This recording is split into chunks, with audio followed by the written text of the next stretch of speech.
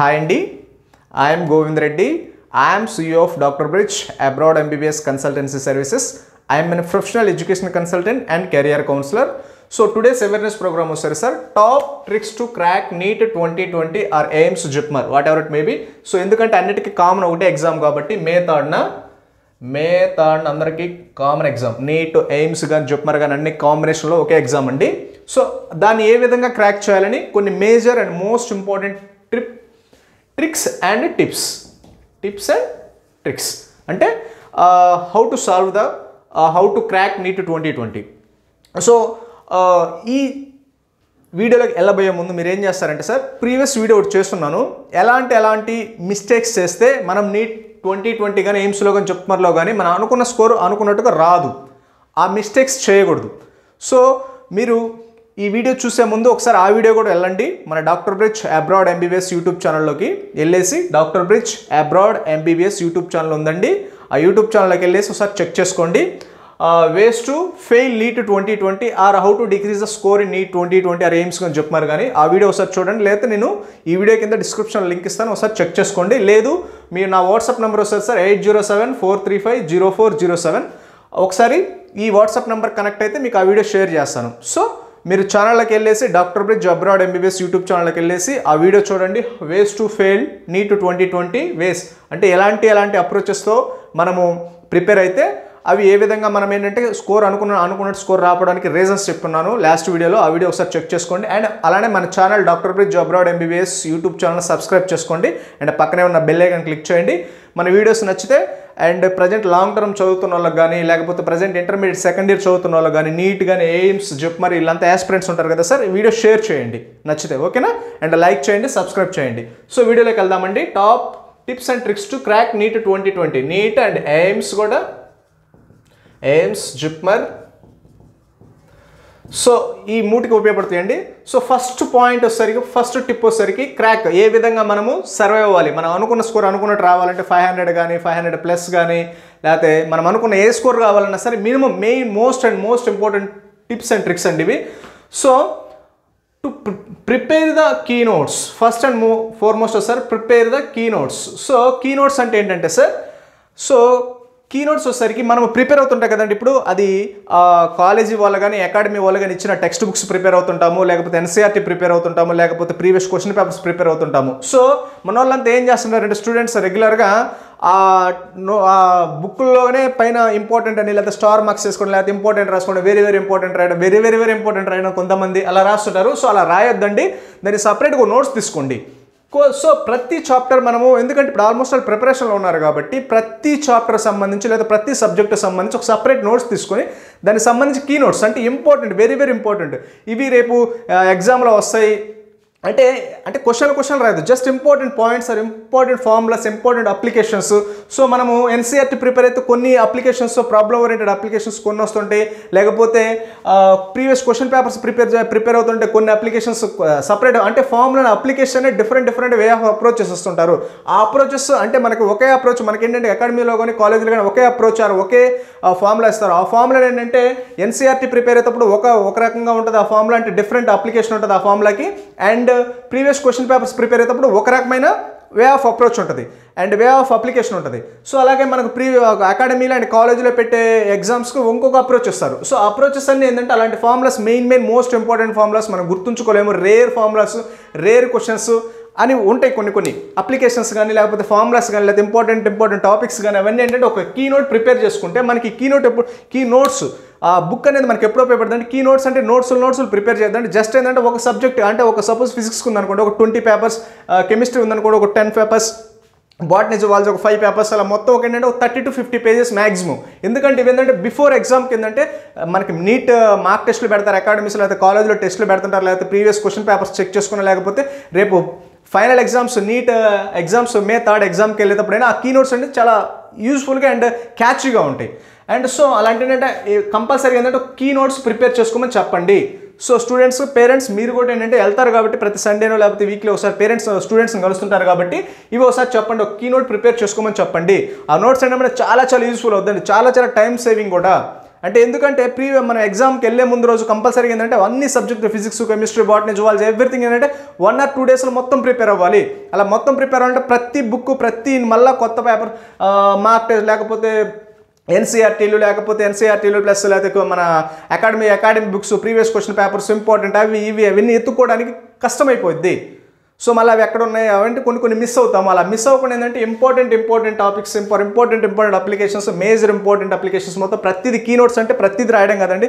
ప్రతి ఫార్ములా రాయడం కాదు. Major most important formulas key notes prepare చేసుకోండి. అంటే ఆ ఫార్ములాస్ ఏంటంటే మనం కంపల్సరీగా హండ్రెడ్ పర్సెంట్ రిమెంబర్ చేసుకోవాలి. ఎందుకంటే జనరల్ ఫార్ములాస్ వచ్చేసరికి కామన్గా మన కాలేజీలో కానీ నార్మల్గా అప్లై చేస్తారు. అవి జనరల్ డైలీ వచ్చే క్వశ్చన్స్లో కానీ ఆన్సర్స్లో ఉంటాయి అవి.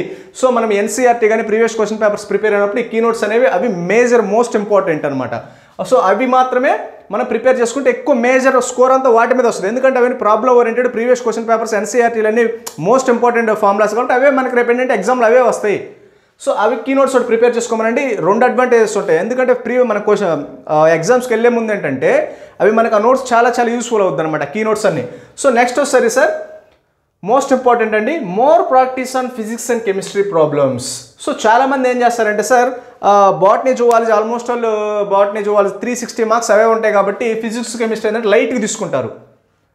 ఎందుకంటే ఫిజిక్స్ కెమిస్ట్రీ కొంచెం ఫిజిక్స్ అనుకోండి formulas applications different different applications different different formulas ఆ సబ్జెక్ట్ అర్థం అవ్వక వినేటప్పుడు చెప్పేటప్పుడు లెక్చరర్ సరిగా చెప్పకుండా లేకపోతే సరిగా వినకనో లేకపోతే whatever it maybe physics chemistry బాగా బడ్డని ఫీల్ అవుతారు.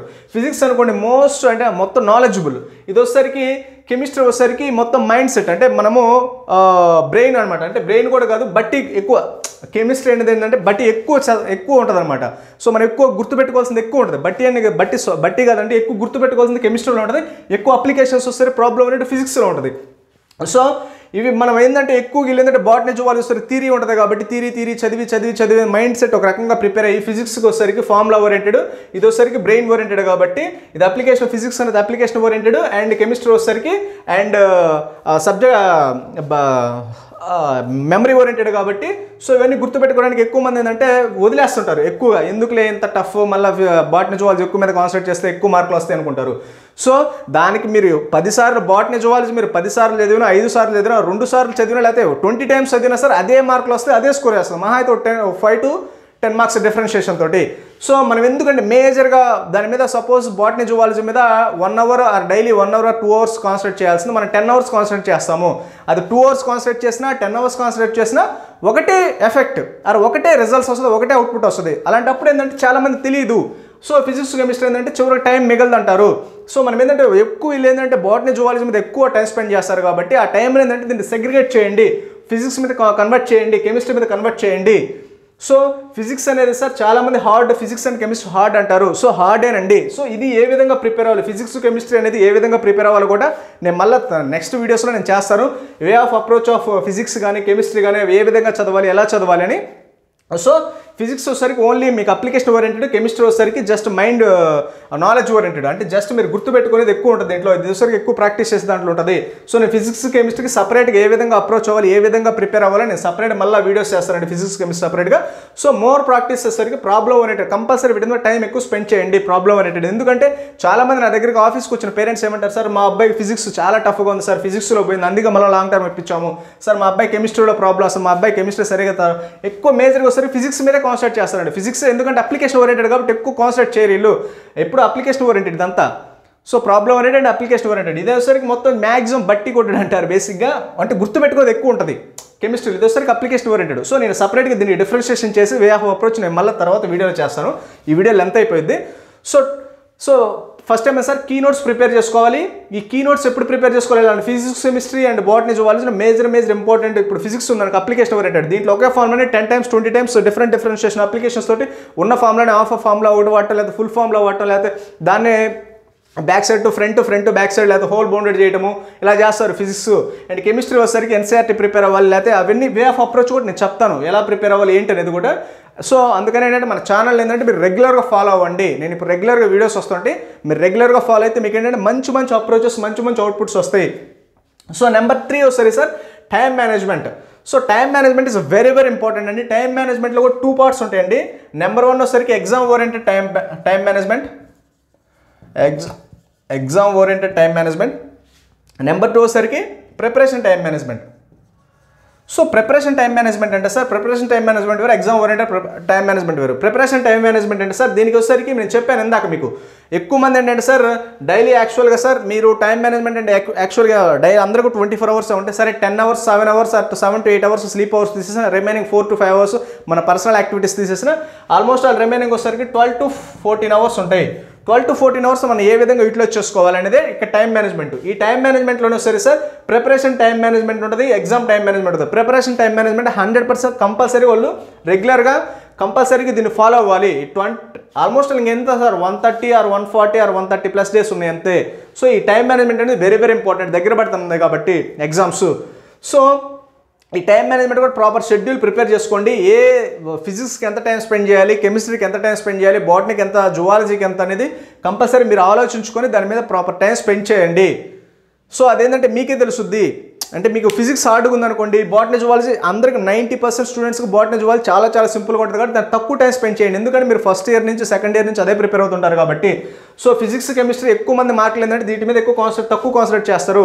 బాటనీ జువాలజీని ఎక్కువ మార్క్స్ వస్తాయని.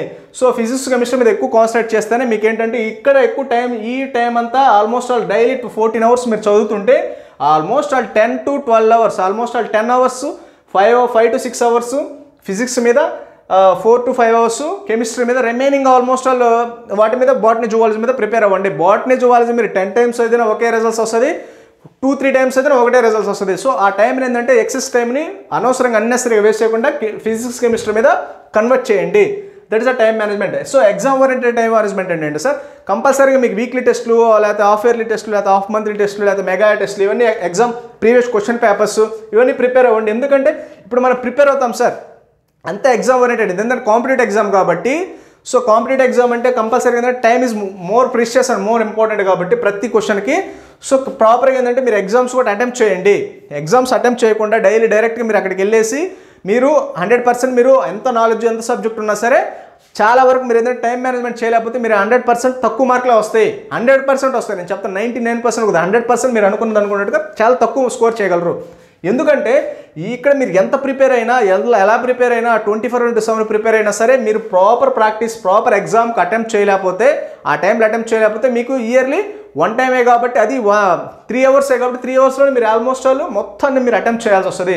ఇంకా అక్కడికి వెళ్ళిన తర్వాత ఫిఫ్టీన్ మినిట్స్ తక్కువే ఉంటుంది కానీ ఎక్కువ ఉండదు. Almost all two point seven five hours ఉంటుంది.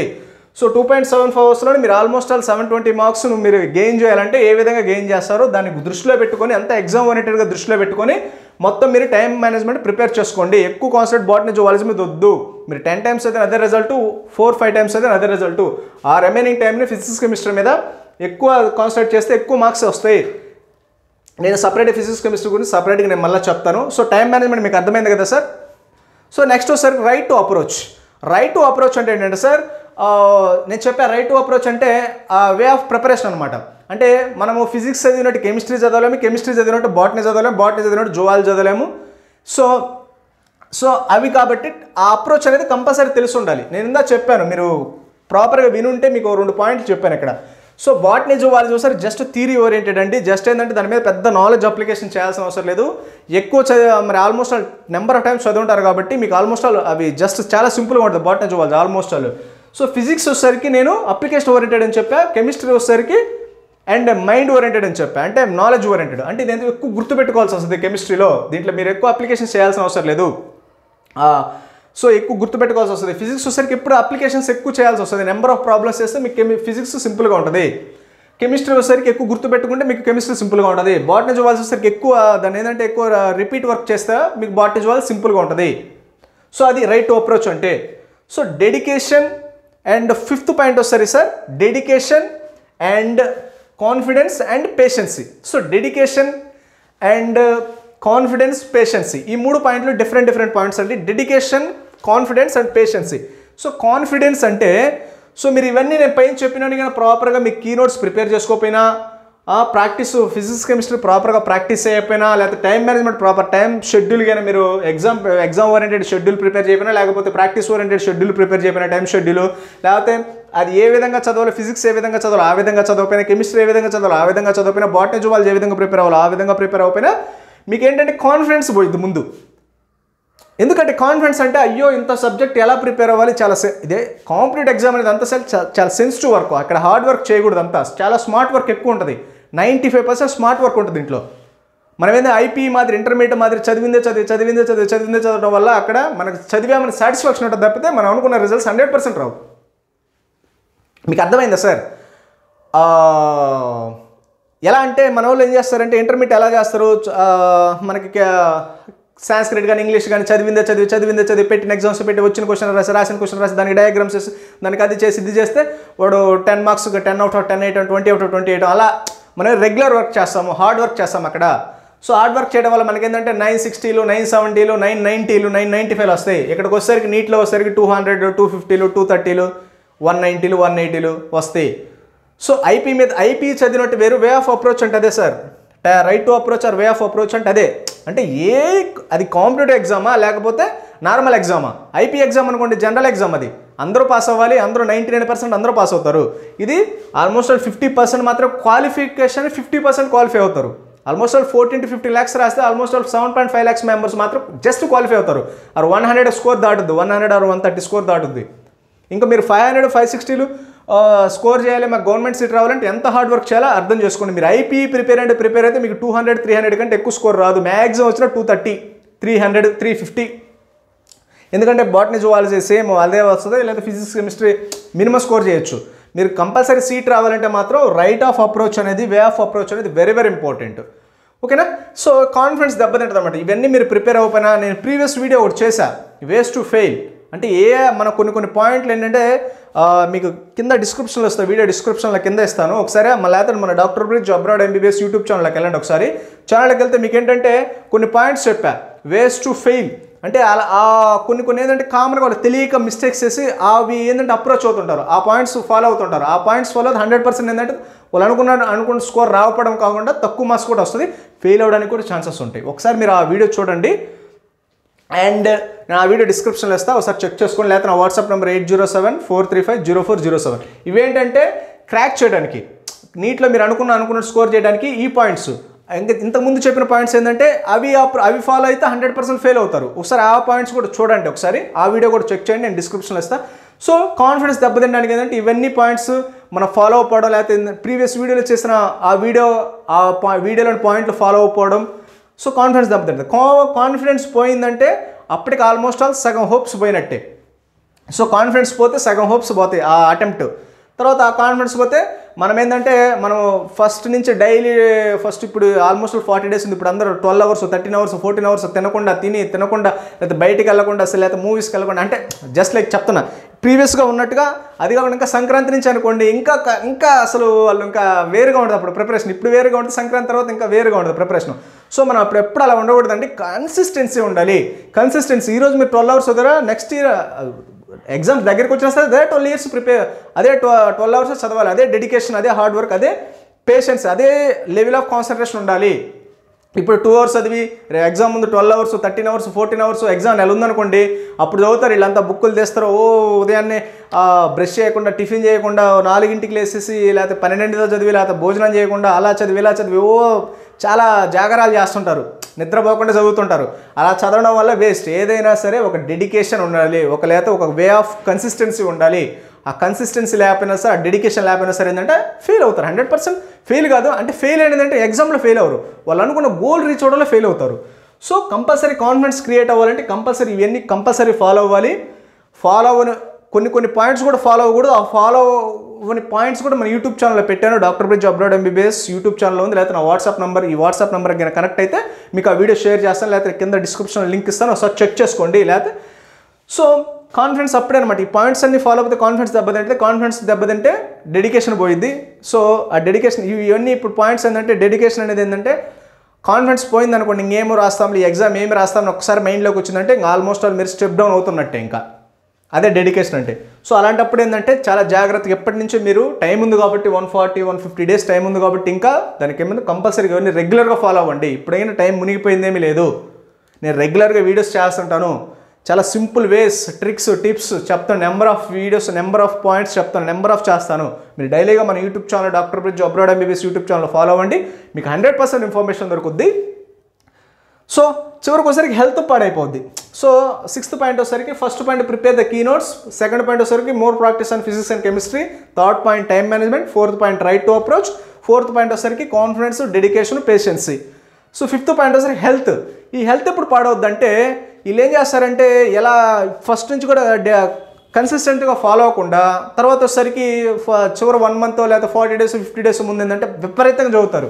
అంటే అప్పుడు మన మైండ్ కూడా అప్రోచ్ చేయలేదు. ఇప్పుడు daily six hours four hours three hours చదివేసి అప్పుడు ఒకేసారి ట్వెల్వ్ అవర్స్ థర్టీన్ అవర్స్ చదవాలంటే ఏంటంటే మీకు మైండ్ యాక్సెప్ట్ చేయదు బాడీ కూడా యాక్సెప్ట్ చేయదు బ్రెయిన్ యాక్సెప్ట్ చేయనప్పుడు ఏంటంటే డిసీజెస్ రావడం లేకపోతే హిల్ హెల్త్ అవడం లేకపోతే హెల్త్ పాడవడం ఇలాంటివన్నీ జరుగుతుండే అనమాట సో ఇవన్నీ ఏంటంటే కంపల్సరీ మీరు ఫస్ట్ నుంచి కానీ డెడికేటెడ్గా హార్డ్ వర్క్ చేసుకుంటూ లేకపోతే కన్సిస్టెంట్గా వెళ్తుంటే మీరు హండ్రెడ్ పర్సెంట్ మీరు అనుకున్న అనుకున్న గోల్ రీచ్ అవుతారు. అదే సక్సెస్కి ఫెయిల్యూర్కి తేడా.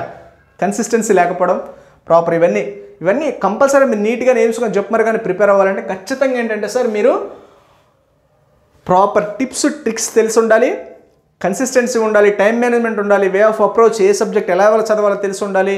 ఇది కా కాంపిటెన్స్ ఎగ్జామ్ కాబట్టి. కాంపిటేటివ్ ఎగ్జామ్ కాబట్టి సో ఫెయిల్ సీటు అప్పుడు బాధపడటం కంటే లేకపోతే కౌన్సిలింగ్స్ అప్పుడు లేకపోతే రిజల్ట్స్ వచ్చినప్పుడు ప్రాబ్లం ఇంకా మన టైం అప్పుడు బాధపడటం కంటే ఇప్పుడు టైం ఉంది కాబట్టి ఒకసారి ఒకటి రెండు సార్లు మీరు వీడియో చూడండి వీడియో నచ్చితే షేర్ చేయండి మన డాక్టర్ బి job abroad MBBS YouTube channel subscribe చేయండి ఛానల్ని షేర్ చేయండి అందరికీ వీడియో షేర్ చేయండి. మీకు ఇంకా మన YouTube channel number of abroad సంబంధించి లోకల్ సంబంధించి అబ్రాడ్ ఎంబీబీఎస్ ఏ విధంగా ఏ ఏ కంట్రీస్ బాగుంటాయి లేకపోతే లోకల్ ఏ ఏ కాలేజెస్ బాగుంటాయి? లేకపోతే tips ticks and NEET preparation tips tricks number of scholarship programs whatever it maybe మన యూట్యూబ్ ఛానల్ వచ్చేసరికి ఎంబీబీఎస్ సంబంధించి ఫుల్ ప్లెజ్ నాలెడ్జ్ ఉంటుంది. అప్ టు పీజీ వరకు కూడా ఏ విధంగా అప్రోచ్ అవ్వాలని మనం చెప్తాం. ఎవ్రీథింగ్ ఇన్ఫర్మేషన్ మన యూట్యూబ్ ఛానల్లో బండిల్ ఆఫ్ ఇన్ఫర్మేషన్ ఉంటుంది. సో మన ఛానల్ సబ్స్క్రైబ్ చేయండి. పది మందికి షేర్ చేయండి లైక్ చేయండి. ఓకేనా మీకు ఏదైనా డౌట్ వస్తే ఈ కాన్సెప్ట్లో eight zero seven four three five zero four zero seven. నాకు నాతో మాట్లాడాలనుకున్నా ఒకసారి వాట్సాప్ చేయండి మీకు టచ్లో ఉంటాను. Twenty four minutes okay thank you thank you very much మీకు ఏదైనా డౌట్ వస్తే నాకు వాట్సాప్ చేయండి. మన ఛానల్ మాత్రం సబ్స్క్రైబ్ చేసుకోండి. Doctor bridge abroad MBBS YouTube channel subscribe చేసుకోండి. వీడియో నచ్చితే షేర్ చేయండి. ఓకేనా okay sir thank you thank you very much next చేయగలుగుదాం